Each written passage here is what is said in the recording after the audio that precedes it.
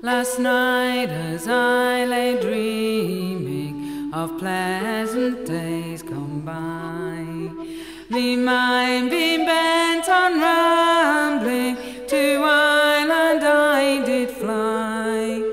I stepped aboard a vision and followed with my will till next I came to anchor at the cross of Spancil Hill. Delighted by the novelty, enchanted by the scene, wherein my early boyhood, where often I had been.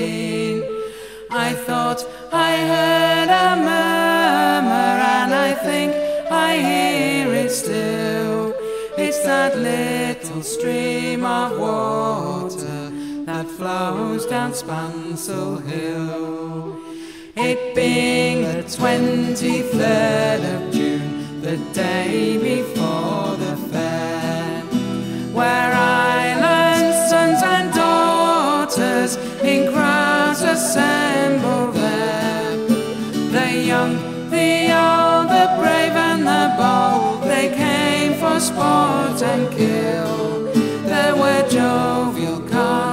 conversations at the cross of Spancil Hill.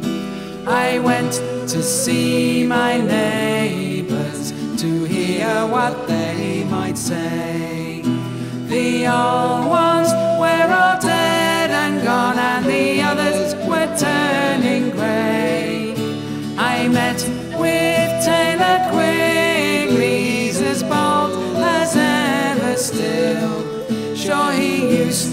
make my bridges when I lived on Spancil Hill. I paid a flying visit to my first and only love. She's white as any lily and gentle as a dove.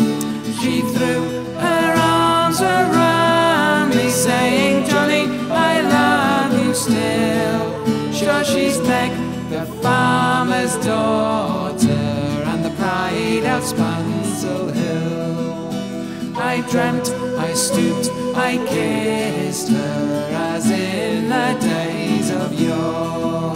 She said, Johnny, you're only joking, as many as the times before. The cock